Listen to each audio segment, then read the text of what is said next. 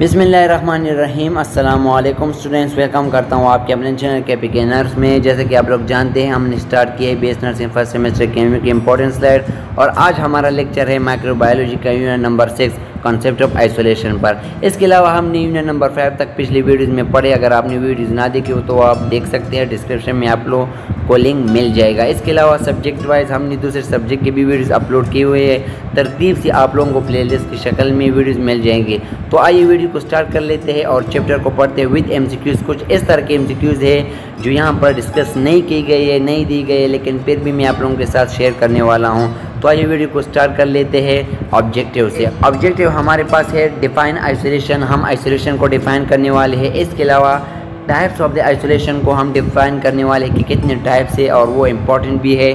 और इसके अलावा relate the isolation to the chain of the infection cycle chain of the infection cycle हमने पहले पिछली वीडियोज़ में पढ़ा है, लेकिन आज की इस वीडियो में हम आइसोलेशन को चेन ऑफ़ द इन्फेक्शन के साथ सिर्फ़ रिलेट करेंगे। इसके अलावा demonstrate the preventive measurement during the various types of isolation तो मुख्तलिफ़ टाइप्स ऑफ़ आइसोलेशन की जो प्रिवेंटिव मेज़रमेंट है, जो माइक्रोगेनिज्म की जो रोकथाम है तो हम उसको भी डिमॉन्स्ट्रेट हम एक्सप्लेन और डिस्क्राइब करने वाले हैं। Perform the various nursing intervention professionally in each type of the isolation तो मुख्तलिफ़ टाइप ऑफ़ आइसोलेशन में हम मुख्तलिफ़ नर्सिंग इंटरवेंशन परफॉर्म करने वाले हैं। तो आइए वीडियो को स्टार्ट कर लेते हैं। डिटेल में पढ़ते हैं कि what is isolation isolation define इससे पहले कि मैं इसको डिफाइन करूँ, मैं आप लोगों के साथ एक बात शेयर कर रहा करूँ एक स्टूडेंट ने कमेंट किया था कि सर प्लीज़ आप थोड़ा सा स्लो पढ़ाया करें, ताकि जो भी इम्पोर्टेंट एम हो या पॉइंट हो उसे हम नोट कर सके। तो इसलिए मैं कोशिश करूँगा कि मैं स्लो आहिस्ता आहिस्ता पढ़ाया करूँ। Isolation is the separation of a patient from the contact with other in order to control the spread of the infectious और कम्युनिकेबल डिज़ीज़ तो आइसोलेशन जहाँ पर शन आता है टी आई ओ इन तो इसका मतलब है कि प्रोसेस है। तो ये एक इस तरह का प्रोसेस है जिसमें हम किसी पेशेंट को आइसोलेट करते हैं दूसरे लोगों से, ताकि वो जो चेन ऑफ़ साइकिल है उसे हम ब्रेक डाउन कर सके। ताकि जो भी डिज़ीज़ हो उसे हम ब्रेक कर सके, दूसरे लोगों में ट्रांसफ़र ना हो सके।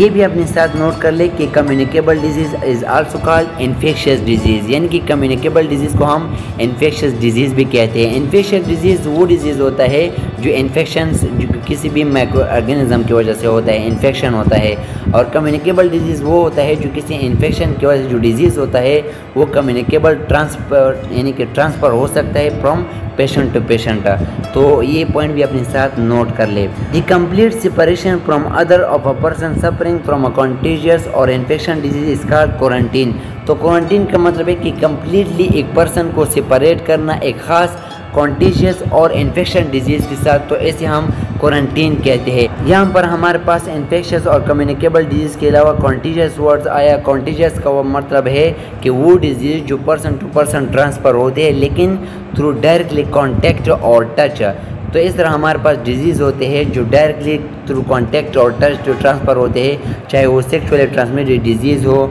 या दूसरे डिज़ीज़ हो तो उसको हम कॉन्टीजियस डिज़ीज़ कहते हैं। The separation of a person with infectious disease from the contact with other human beings for the period of the communicability तो किसी ख़ास पर्सन को एक ख़ास डिज़ीज़ के साथ सेपरेट करना ताकि वो दूसरे ह्यूमन बींग को इन्फेक्शन का ज़रिया ना बन सके तो इसके लिए हम आइसोलेशन प्रोसेस करते हैं in active or instant of the isolating ये हमारे पास एक आइसोलेटिंग सेपरेशन प्रोसेस है। इसके अलावा the state of being isolated है। एक हमारे पास स्टेट है, एक प्रोसेस है जिसमें हम पर्सन को आइसोलेट करते हैं। तो इसे हम आइसोलेशन कहते हैं। आगे हमारे पास है according to the C D C isolation is the act of the separation sick individual with a condition disease C D C के मुताबिक सी डी सी हमारे पास Center for Disease Control and Prevention ये agency है तो उनके मुताबिक किसी सिक बीमार पेशेंट को सेपरेट करना विद ख़ास डिज़ीज़ के साथ कंडीशन डिज़ीज़ के साथ from a healthy individual healthy individual से विदाउट अ कंडीशन डिज़ीज़ जिसमें कंडीशन डिज़ीज़ ना हो in order to protect the general public health ताकि जो जनरल पब्लिक होता है पीपल होते हैं, ताकि उनको बचा सके, उन्हें प्रिवेंट कर सके किसी भी डिज़ीज़ से। From the exposure to the condition disease उस ख़ास कंडीशन डिज़ीज़ को एक्सपोज करने से। तो सी डी सी एक एजेंसी है, उनके मुताबिक किसी ख़ास सिक पर्सन को आइसोलेट करना, दूसरे हेल्थ पर्सन से या किसी पब्लिक दूसरे लोगों से ताकि वो डिज़ीज़ ट्रांसफ़र ना हो पब्लिक में। तो ये सी एजेंसी कहती है। Isolation refers to the precaution that are taken in the hospital to prevent the spread of the infection agent from the infected or colonized patient to susceptible person तो isolation यहाँ पर इस तरह भी डिफाइन किया जा रहा है। तो ये हमारे पास इस तरह का प्रिकॉशन है, इस तरह का एहतियाती तदाबीर है, जो हॉस्पिटल में किए जाते हैं, ताकि जो इन्फेक्शन एजेंट होते हैं माइक्रोगनिज़म होते हैं, वो दूसरे लोगों में ट्रांसफ़र ना हो, या एक पेशेंट से, जो कॉलोनाइज पेशेंट होता है, जिसमें ऑलरेडी माइक्रोगनिज़म मल्टीप्लाई होते हैं, लेकिन साइन एंड सिम्टम नहीं होते। तो वो दूसरे पेशेंट में ट्रांसफ़र ना हो या दूसरे लोगों में ट्रांसफ़र ना हो। ससेस्टेबल पर्सन वो होता है जो ख़ास डिज़ीज़ को हादसास होता है या जब एक्सपोज होता है तो उसको डिज़ीज़ हो सकती है। तो उसे हम ससेस्टेबल पर्सन कहते हैं। तो ये हम हॉस्पिटल में भी कर, करते हैं आइसोलेशन या होम में कर सकते हैं या पब्लिक में भी ये प्रोसेस कर सकते हैं। इसके अलावा हमारे पास है need of the isolation need of the isolation को पढ़ने से पहले मैं आप लोगों के साथ कुछ खास टेन स्टेन आप लोग जानते हैं कि किसी भी माइक्रो को आइडेंटिफाई या उसे स्टडी करने के लिए जो स्टेन इस्तेमाल होता है कलर इस्तेमाल होता है, उसे हम स्टेन कहते हैं। मैं आप लोगों के साथ वो एम के लिहाज से इंपॉर्टेंट है शेयर करना चाहता हूँ। तो हमारे पास टोटल जो इम्पोर्टेंट है, वो थ्री स्टेन है। पहले हमारे पास है Z I E H L Ziehl Neelsen stain हमारे पास वो स्टेन है जो एसिड फास्ट बैक्टीरिया, जो माइक्रोबैक्टीरिया, माइक्रोबैक्टीरियम बैक्टीरिया है, उनके लिए इस्तेमाल किया जाता है। एसिड फास्ट बैक्टीरिया जो कि माइक्रोबैक्टीरियम बैक्टीरिया है, ये वो बैक्टीरिया है जो एसिड स्टेनिंग को रेजिस्ट करती है। तो इसलिए हम इसके लिए जेल नेल्सन स्टेन स्टेनिंग इस्तेमाल करते हैं। इसके अलावा S H C H A double F E R Schaeffer Fulton stain वो स्टेन होता है जो एंडोस्पोर ऑफ़ द बैक्टीरिया को स्टेनिंग के लिए इस्तेमाल किया जाता है या किसी भी बैक्टीरिया के एंडोस्पोर जो होते हैं उसे स्टडी करने के लिए। इसके अलावा हम, हमारे पास इंडिया एंग स्टेन है तो वो हमारे पास फंजाई स्टडी करने के लिए स्टेनिंग करते हैं। तो ये हमारे पास थ्री थ्री स्टेन है इम्पोर्टेंट स्टेन है, अपने साथ लिख ले। Neelsen stain Schaeffer Fulton India ink stain तो ये हमारे पास कुछ खास स्ट्रेंथ थे इंपॉर्टेंट थे, इसलिए आप लोगों के साथ शेयर किए। तो आइए स्लाइड को कंटिन्यू करते हैं। Isolation aim controlling and preventing the spread of the infection क्या ज़रूरत है आइसोलेशन की? आप लोग जानते हैं कि आइसोलेशन में पर्सन को आइसोलेट किया जाता है तो इसलिए इसकी ये नीड है फ़वाद है कि किसी भी इन्फेक्शन को स्प्रेड होने ना दे प्रिवेंट करे उसे कंट्रोल कर सके। जैसे कि कोरोना के वायरस में। Isolation precaution are designed like rooms wards to minimize the transmission of the infections in the hospital by using updated and skilled technology. तो आजकल के ज़माने में मुख्तलिफ़ किस्म के वेल स्किल टेक्नोलॉजिकल हॉस्पिटल बनाए जा रहे हैं ताकि उस हॉस्पिटल में वो इन्फेक्शन डिज़ीज़ के साथ जो पेशेंट आया है, वो दूसरे पेशेंट में ट्रांसफ़र ना हो सके। फॉर एग्ज़ाम्पल कोरोना के वायरस में और कोरोना के लिहाज से ये भी एक्सक्यूज़ नोट कर ले कि कोरोना वायरस आर वायरस है। और वो हाईली कॉन्टेजर डिज़ीज़ तस्वर किया जाता है। और अपने साथ ये भी नोट कर ले कि वो कौन सा डिज़ीज़ है जो world wide highly contagious disease तस्वर किया जाता है। तो हमारे पास है मीजल्स डिज़ीज़ जो कि वेरी हाईली कॉन्टेजियस डिज़ीज़ है। Isolation help to protect the patient family member visitors तो आइसोलेशन की ये भी ज़रूरत होती है ताकि पेशेंट को प्रोटेक्ट किया जाए मज़ीद इन्फेक्शन ना होने से, या फैमिली मेंबर्स को प्रोटेक्ट होने से, या विज़िटर जो हॉस्पिटल में आते हो, या फैमिली में कोई विज़िटर आता हो, या हेल्थ केयर वर्कर्स चाहे हॉस्पिटल में, चाहे वो नर्सेज हो डॉक्टर्स हो, या दूसरे काम करने वाले लोग हो from spread of the infection किसी भी इन्फेक्शन को स्प्रेड होने से। तो इसलिए आइसोलेशन का होना इंपॉर्टेंट है, किसी भी कॉन्टेशियर डिज़ीज़ के लिए। इसके अलावा हम आइसोलेशन क्यों करते हैं? To reduce the risk of the spreading certain infection ताकि जो ख़ास इन्फेक्शन है, उसका स्प्रेड होने का जो रिस्क है, उसको कम किया जाए और antibiotic resist germs to other patient and staff या दूसरे जो एंटीबायोटिक रेजिस्ट जर्म जो होते हैं, ताकि वो ट्रांसफ़र ना हो पेशेंट में या दूसरे हॉस्पिटल के स्टाफ में।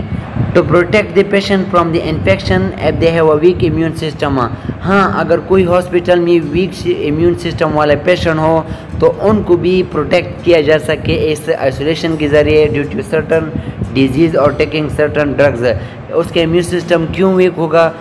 या तो किसी डिज़ीज़ की वजह से, या किसी ख़ास स्टेरॉयड ड्रग्स लेने की वजह से।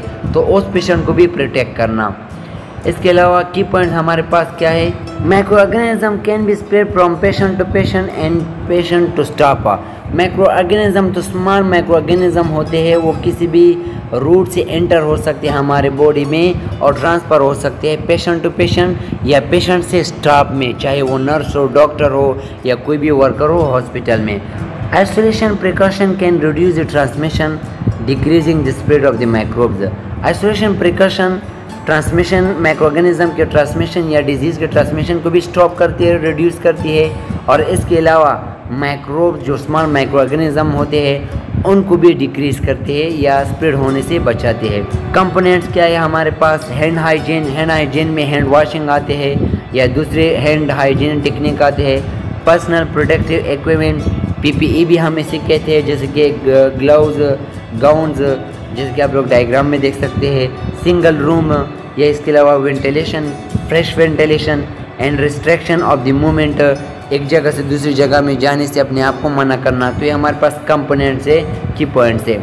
Must be applied according to the sign and symptom तो डिज़ीज़ के साइन एंड सिम्टम पर डिपेंड करते हैं। जैसे कि कोरोना के वायरस में मुख्तलिफ़ किस्म के फ्लू के साइन एंड सिम्टम के साथ जो भी पेशेंट आता था तो वो कोरोना का पेशेंट तस्वर किया जाता था। Microorganism causing health care associated infection can be spread from infected और colonize patient to other patient and staff तो माइक्रो ऑर्गेनिज्म का काम ही तो यही है कि डिज़ीज़ काज करना। तो वो किसी भी हेल्थ केयर इन्फेक्शन किसी भी हेल्थ केयर या हेल्थी पर्सन को इन्फेक्ट कर सकता है और स्प्रेड हो सकता है फ्रॉम पर्सन टू पर्सन और पर्सन टू स्टाफ आगे जाते हमारे पास आगे है की पॉइंट में appropriate isolation precaution can reduce the transmission if they are applied properly तो आइसोलेशन का ये मतलब नहीं कि आपने सिर्फ़ आइसोलेट किया अपने आप को।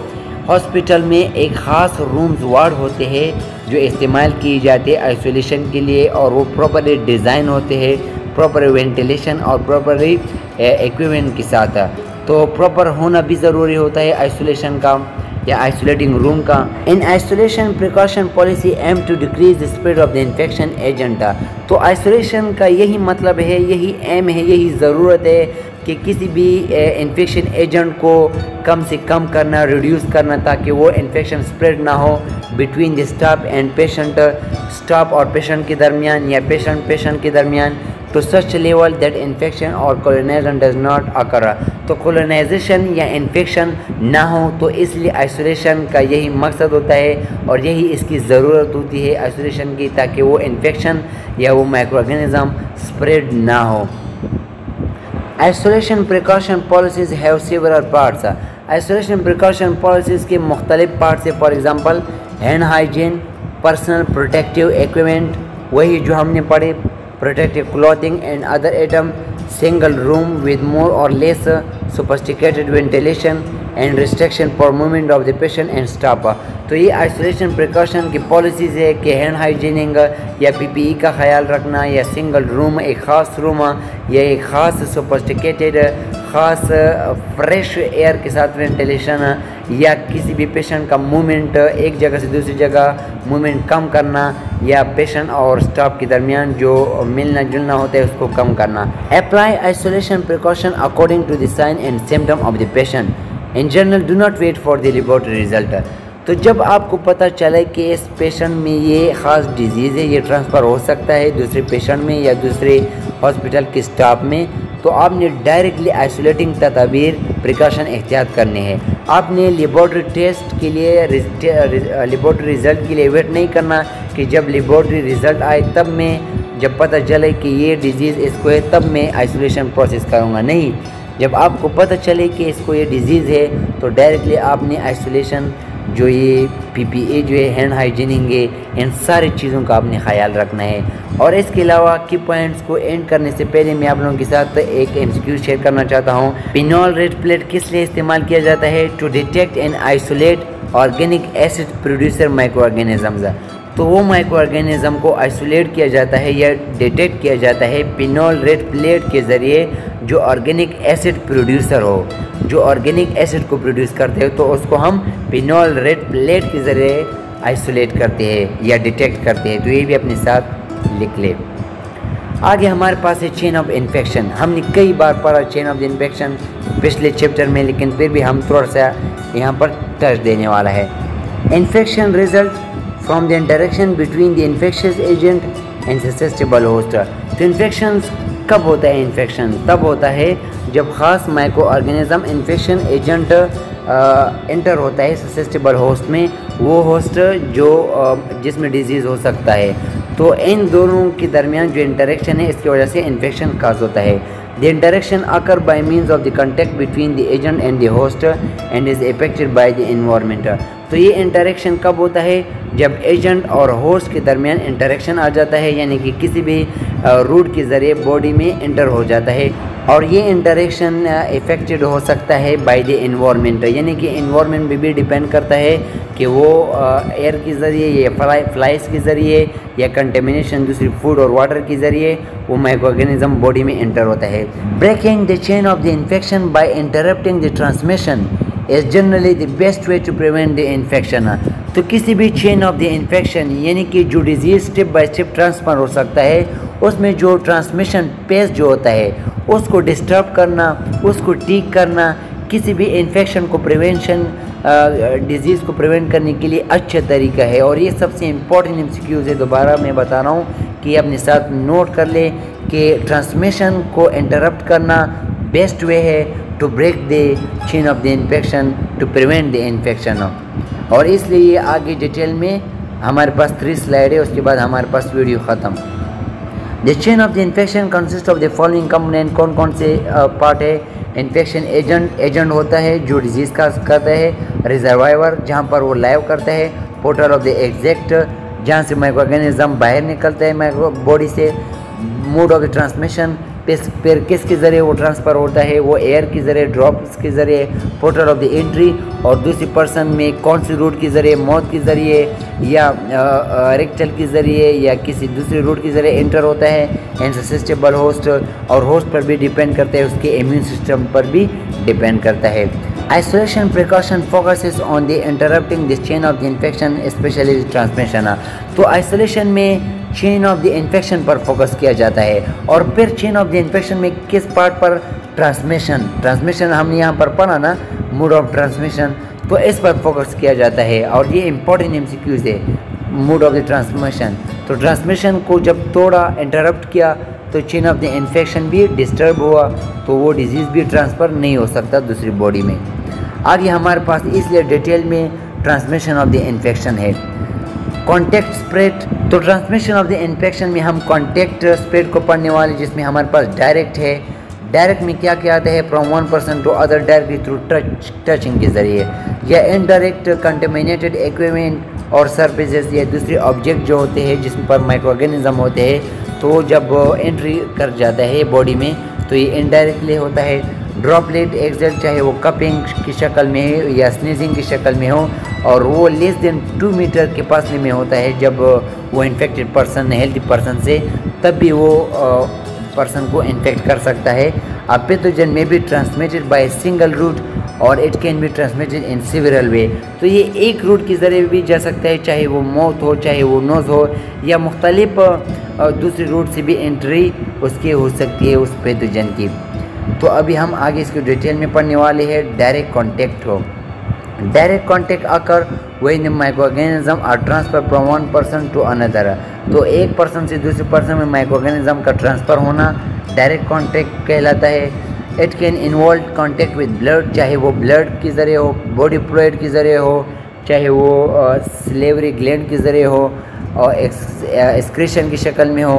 सिक्रेशन की शक्ल में हो और सिक्रेशन में हमारे पास मुख्तलिफ़ बॉडी फ्लोइड्स आ जाते हैं। During patient care by health care worker और अ विजिटर और फैमिली मेंबर तो इस तरह डिज़ीज़ ट्रांसफ़र हो सकता है या माइक्रो ऑर्गेनिज्म जब हम किसी पेशेंट को केयर देते हैं या बाहर से कोई बंदा आ जाता है, कोई फैमिली मेंबर या visitor during interactive activities in the play rooms between the patient तो किसी हॉस्पिटल में जब कोई प्ले रूम्स होता है या कोई घर में हम पेशेंट के लिए प्ले प्ले रूम्स बनाते हैं, खेलने के लिए ताकि वो बिज़ी रहे तो उनके दरमियान भी माइक्रोगेनिज़म ट्रांसफ़र हो सकता है। आगे जाते हैं ओके जी डायरेक्ट कॉन्टेक्ट के बाद हमारे पास इनडायरेक्ट कॉन्टेक्ट आता है। Indirect contact involve the transfer of the microorganism through a contaminated intermediate object तो डायरेक्ट कांटेक्ट में डायरेक्टली पर्सन टू पर्सन या टचिंग के ज़रिए जो माइक्रोऑर्गेनिज्म ट्रांसफ़र हुआ करता था, लेकिन इनडायरेक्ट में क्या होता है इंटरमीडिएट ऑब्जेक्ट आ जाते हैं। फॉर एग्जांपल चाहे वो यूटेंसाइल हो, बर्तन वगैरह हो सब्सटेंसेस हो, या पर्सन भी हो सकता है कंटेमिनेटेड इक्विपमेंट ड्यूरिंग सर्जरी जो कंटेमिनेटेड सर्जिकल सीज़र या फॉरसेप वगैरह इस्तेमाल किए जाते हैं चाहे वो फ़ूड हो वाटर हो या सप्लाईज हो तो ये सारे इनडायरेक्ट कॉन्टेक्ट की कैटेगरीज में आते हैं। मैं अगर when inadequate hand washing is perform by a care provider अगर कोई केयर प्रोवाइडर फॉर एग्ज़ाम्पल अगर नर्स को लिया जाए एग्ज़ाम्पल अगर वो अपनी हैंड हाइजीनिक का ख्याल ना रखे तो वो भी ज़रिया बन सकता है माइक्रो ऑर्गेनिज्म का या डिज़ीज़ ट्रांसमिशन का। Equipment is not clean disinfectant और स्टेरिलाइज एडुकेट बिटवीन पेशेंट अगर कोई इक्विपमेंट को स्टेरिलाइज ना किया जाए, या क्लीन ना किया जाए, या डिसइनफेक्टेंट ना किया जाए तो वो भी ज़रिया बन सकता है इनडायरेक्ट कॉन्टेक्ट ट्रांसमिशन का। ब्लड बाउंड पैथोजन हमारे पास वो पैथोजन होते हैं जो ब्लड के ज़रिए ट्रांसफ़र होते हैं। फॉर एग्ज़ाम्पल शार्प और नीडल स्टिक इंजरीज की वजह से, या ट्रांसफ्यूज़न के दर, के दौरान, या इंजेक्शन के ज़रिए अगर कोई इंजेक्शन को या नीडल को रीयूज़ करे तो ब्लड के ज़रिए भी वो पैथोजन ट्रांसफ़र हो सकता है एक पेशेंट से दूसरे पेशेंट में, या ड्यूरिंग सर्जरी या किसी वॉन्ड को क्लीन साफ़ करने के लिए, या या ड्यूरिंग स्टिचिंग हम किसी ब्लड बॉन्ड पैथोजन नीडल को इस्तेमाल करते हैं तो इसके ज़रिए ट्रांसमिशन हो सकता है किसी भी पैथोजन या डिज़ीज़ का। तो ये हमारे पास लास्ट सेकंड स्लाइड है, उसके बाद हमारे पास स्लाइड ख़त्म हो जाएँगे और पार्ट नंबर वन कंप्लीट हो जाएगा। और इंशाल्लाह आगे हम मज़ीद स्लाइड को एक्सप्लेन करने वाले हैं। तो हमारे पास ड्रॉपलेट स्प्रेड क्या है? Infectious droplet that are expelled for example when sneezing और कपिंग तो ड्रॉप की शक्ल में भी माइक्रो ऑर्गेनिज्म ट्रांसफ़र हो सकती है अगर वो ड्रॉप कंटामिनेटेड हो। फॉर एग्जांपल स्नीजिंग और कपिंग की शक्ल में। Are too heavy to float in the air कुछ ड्रॉप बहुत हैवी होते हैं प्लॉट नहीं कर सकते ट्रांसफ़र नहीं हो सकते। एयर में यानी कि पर्सन को इन्फेक्ट नहीं कर सकते। लेकिन can be transfer less than two millimeter from the source of the droplets तो अगर कोई पेशेंट दूसरे पेशेंट से टू मिलीमीटर के कम फासले में हो तो डिज़ीज़ का कर सकता है। यानी कि डिज़ीज़ ट्रांसफ़र हो सकता है एक पेशेंट से दूसरे पेशेंट में अगर उनका फासला टू मिलीमीटर से कम हो। तो इसलिए ट्यूबरक्लोसिस टीबी के केस में भी टू मिलीमीटर से आपने ज़्यादा फासला रखना होता है पेशेंट से। स्पीड में भी डायरेक्ट और इनडायरेक्ट। ये डायरेक्ट भी हो सकता है, इनडायरेक्ट भी हो सकता है। डायरेक्ट ड्रॉपलेट ट्रांसमिशन में क्या होता है? ड्रॉपलेट रीच म्यूकस मेम्ब्रेन्स और आर इनहेलर। तो जब ड्रॉप्स, इन्फेक्टेड ड्रॉप्स या कंटेमिनेटेड ड्रॉप म्यूकस मेम्ब्रेन पर पहुँच जाए या रीच करे वहाँ पर या डायरेक्टली हम इनहेल करें तो इसे हम डायरेक्ट ड्रॉपलेट ट्रांसमिशन कहते हैं। इनडायरेक्ट ड्रॉपलेट ट्रांसमिशन किसे कहते हैं? ये भी इंपॉर्टेंट है। Droplets falls on to the surface or hand and are transmitted to the mucous membrane or through food. तो अगर कोई ख़ुराक के ज़रिए या थ्रू कोई हैंड के ज़रिए अगर हम आ, हाथ मुँह में डालें या कोई फ़ूड कंटेमिनेट फ़ूड डाले तो वो म्यूकस मेम्ब्रेन को कंटेमिनेट करे। तो इसको हम इनडायरेक्ट ड्रॉपलेट ट्रांसमिशन कहते हैं। और डायरेक्ट के केस में क्या होता था? डायरेक्टली म्यूकस मेम्ब्रेन पर वो ड्रॉप पहुँच जाता था। तो हमारे पास लास्ट स्लाइड है। Indirect droplet transmission is often more efficient than direct transmission तो यहाँ पर ये इंपॉर्टेंट एम है कि इनडायरेक्ट ड्रॉपलेट ट्रांसमिशन की वजह से मोर डिज़ीज़ काज हो सकती है compare to direct transmission for example मुँह में हा, हाथ डालना या कंटेमिनेटेड फ़ूड फ़ूड लेना या दूसरे कंटेमिनेटेड ऑब्जेक्ट के ज़रिए या, टीथ के केयर के दौरान जो हम इंस्ट्रूमेंट इस्तेमाल करते हैं डेंटल के ज़रिए। तो ये सारे इनडायरेक्ट ड्रॉपलेट ट्रांसमिशन है और ये मोस्टली इसी के ज़रिए डिज़ीज़ ट्रांसफ़र हो सकते हैं। इन्फेक्शन स्प्रेड दिस में include the common cold influenza and respiratory syncytial viruses syncytial ये हमारे पास वायरस की स्पेशी या ग्रुप्स है। जो रिस्पायरेटरी डिज़ीज़ को काज करते हैं। तो कॉमन कोल्ड और इन्फ्लुएंजा और ये तीनों disease commonly infection spread easily transfer हो सकते हैं फ्रॉम पर्सन टू पर्सन तो ये हमारे पास थ्रू ड्रॉपलेट की शक्ल में ट्रांसफ़र हो सकता है। उम्मीद करता हूँ कि पार्ट नंबर वन से आप लोगों ने बहुत कुछ सीखा होगा। इन आगे हम मज़ीद पार्ट को एक्सप्लेन करने वाले हैं। तो अगर आपको वीडियो पसंद आई है तो प्लीज़ वीडियो को लाइक करना और सब्सक्राइब करना और अपने दोस्तों के साथ ज़रूर शेयर करना। अपना बहुत ख्याल रखिएगा, मेरे चैनल का भी और अपनी फैमिली का भी। अल्लाह हाफिज़।